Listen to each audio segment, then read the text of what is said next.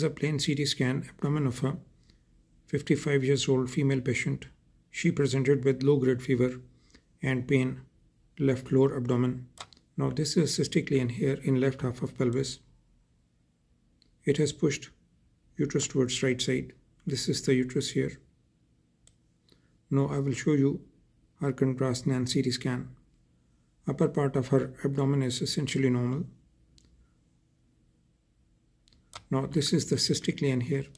Please observe that this has got a moderately thick walls around it, enhancing walls, cystic inner contents. It lies along left sides of fundus in body of uterus.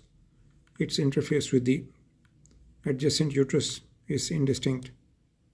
Uterus is displaced towards right side. This is the endometrial line here.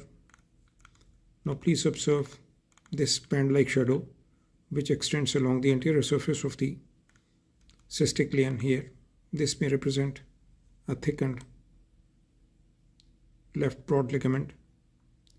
Now I scroll it up again.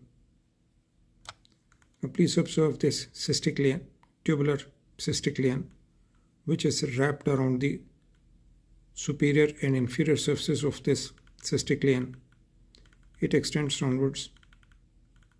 This most probably represents left fallopian tube, which is thick walled. Now this opens here at this level into this cystic lesion. So this most probably represents pyosalpinx involving the fimbrial end of the fallopian tube and this is the rest of the fallopian tube which is wrapped around its postero-inferior postero-superior surface. And it opens into this cystic lesion at this level here. Adjacent fat planes are normal. The other possible differential is an endometriotic cyst but considering the presence of this tubular lesion which is wrapped around the superior and posterior surfaces of the cystic gland and then it opens into the main cystic lesion. These features are suggestive of its being sulpinx and not the endometriotic cyst. This is right ovary here.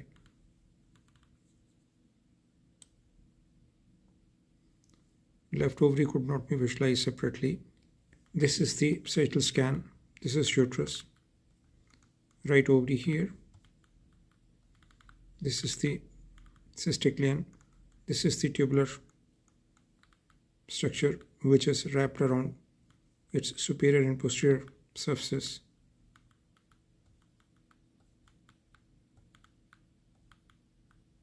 and then opens into it at this level. This is the coronal scan. Uterus pushed towards right side.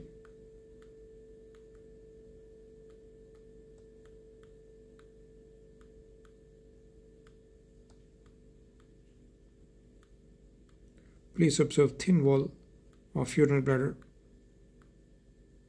while moderately thick walls of this cystic lesion and the tubular lesion suggestive of their infective etiology.